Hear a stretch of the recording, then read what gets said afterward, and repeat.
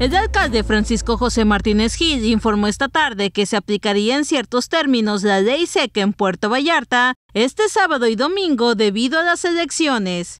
No totalmente, se va a trabajar este, hasta las 11 de la noche. Eh, en hoteles sí va a haber y en restaurantes bar hasta las 11 de la noche, sábado y domingo. ¿Qué días? Sábado, y domingo. Sábado y domingo. ¿Esto fue en acuerdo con? Con eh, tanto con Canirac como con este, la Asociación de Hoteles y Moteles de Puerto Vallarta. Y bueno, pues participó la Dirección de Turismo, padrón de licencias y reglamentos también en, en esta toma de la decisión.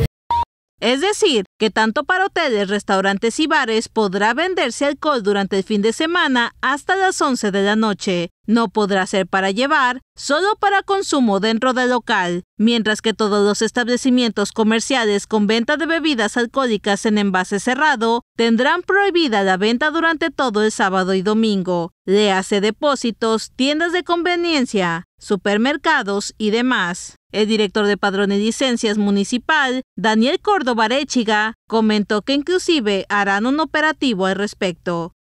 Vamos a restringir los horarios, que serían hasta las 11 de la noche, restaurantes, bares.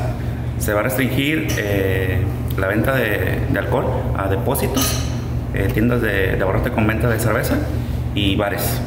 ¿Habrá un operativo de vigilancia para eso? Es correcto, por parte de reglamentos se estaría implementando a partir de las 10 de la noche.